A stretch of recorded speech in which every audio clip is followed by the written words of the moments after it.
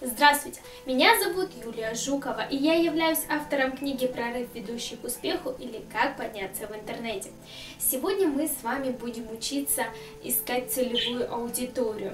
Э, целевая аудитория – это наиважнейшее, как оказалось, э, со временем моего прихода в интернет – самая важная, наиважнейшая, архиважная тема, которую нужно изучить, понять, из чего она вообще происходит, э, как искать эту свою целевую аудиторию.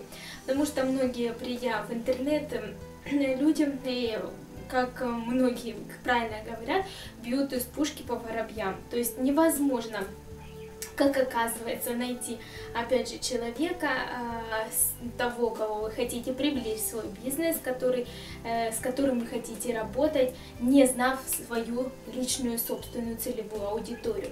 И изучая ее, я поняла, что она делится на некоторые критерии, которые я сегодня хочу вам показать.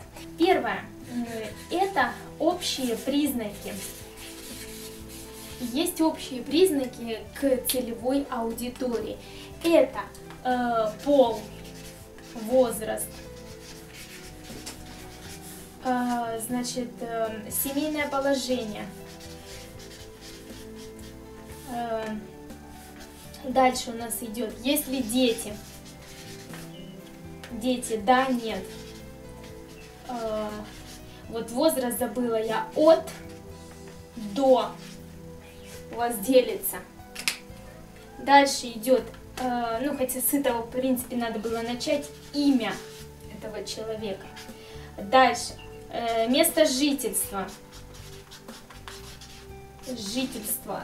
Вплоть до того, что вы здесь пишете город, область, эм, э, район, где он может находиться, ваш человек этот.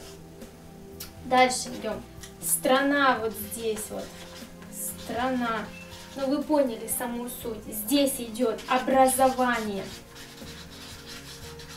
Какого образования этот человек? Мне неудобно писать, поэтому коряво пишу. Дальше э, мы с вами э, узнаем, точнее обдумываем, каков доход этого вашего человека от также до. Э, ну и, возможно, должность на какой должности он находится или находился ранее, какова это его должность. Вторая э, суть будет таковая, вторая часть будет э, заключаться о том, каковы его цели вообще в жизни, его цели, то есть человека, э, о чем он мечтает,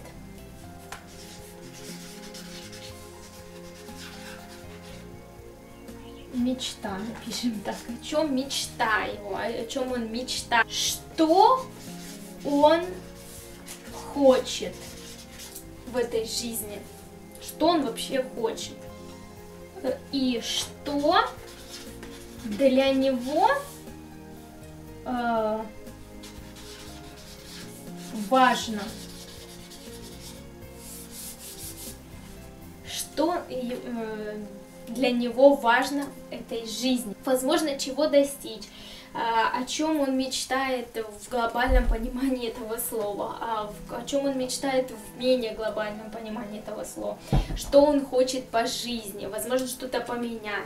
А, вот э, две базы, поехали еще дальше. Третьим блоком является это источник информации. То есть э, начнем с того, что где он бывает, человек наш. Где он вообще, по сути, бывает, ходит. Дальше идем. Э, какие книги предпочитает?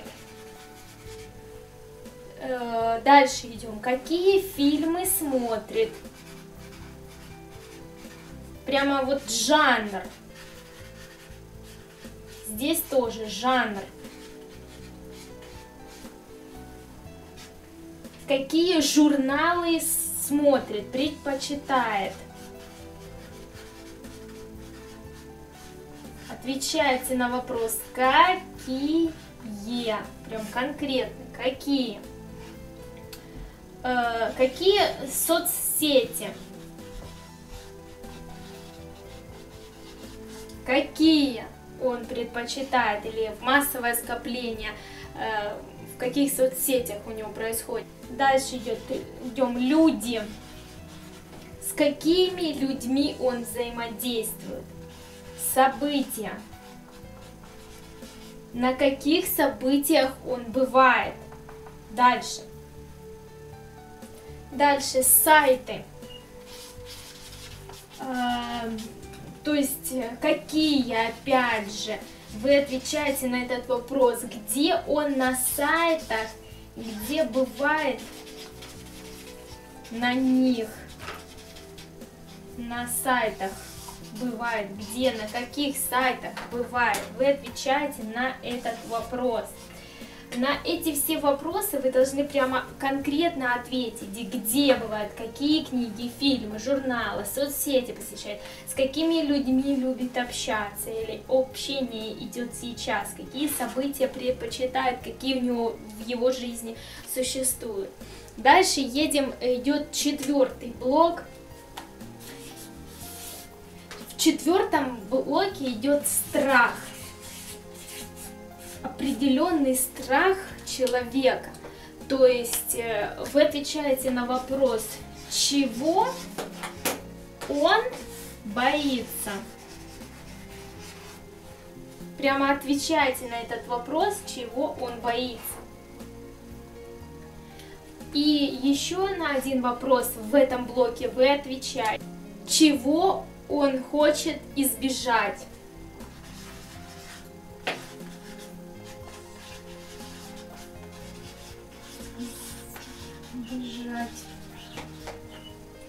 И есть еще пятый блок. И в пятом блоке вы отвечаете на а, вопросы из разряда возможные возражения.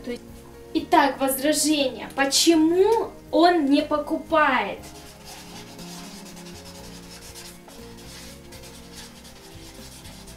Почему он не покупает? Что мешает ему покупке? Что мешает? А, кто принимает решение? Решение о покупке.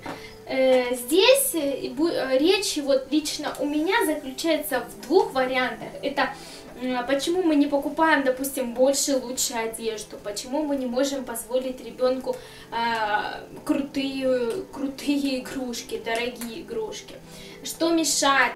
И кто в итоге принимает решение о какой-либо покупке? Это все э, э, включает в себя еще в моем понимании так же, как в интернете. Почему мы не, не покупаем определенный курс?